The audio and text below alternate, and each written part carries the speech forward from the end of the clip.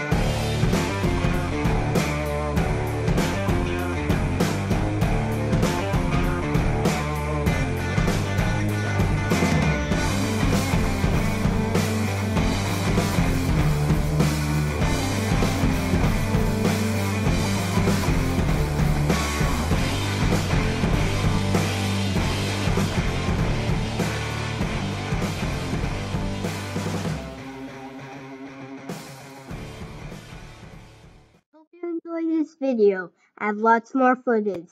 So check back soon. See you next time.